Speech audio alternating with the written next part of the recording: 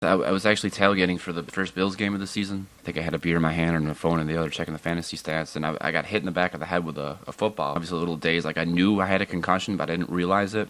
Your vision just kind of blanks out. You just feel like you just woke up, and then you know you open my eyes. And, you know, people in Bills jerseys and everything. It was just kind of really confused for a few minutes.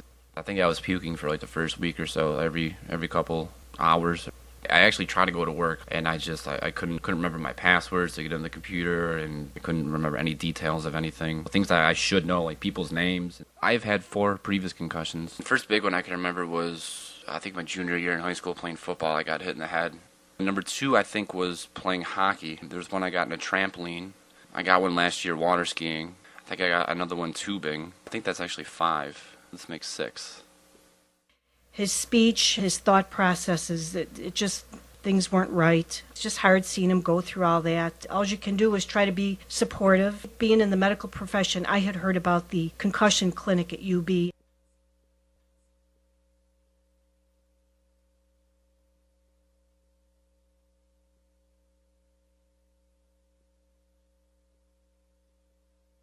Brian came to our clinic in 2009. He had already had symptoms for over a month.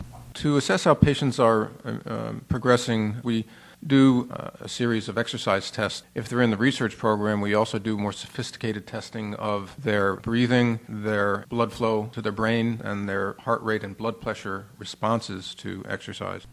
I think there's several reasons helpful for people to exercise safely rather than not doing anything. We think it's actually doing something to the brain's ability to regulate blood flow during exertion or exercise. The outcomes look very good. If an individual has clear evidence of physiologic difficulty as a result of their concussion, and they follow the exercise regime and are eligible for it, we have found everyone gets better in terms of their physiology. Sometimes there are other sources of problems co occurring issues with vision, problems with cognition. Our exercise program doesn't appear to have any impact on that side of things. We do very well with the physiology, the ability to exercise without causing difficulty. The individual, just from the exertion of the day, can have symptoms come on. So the physiology is very important.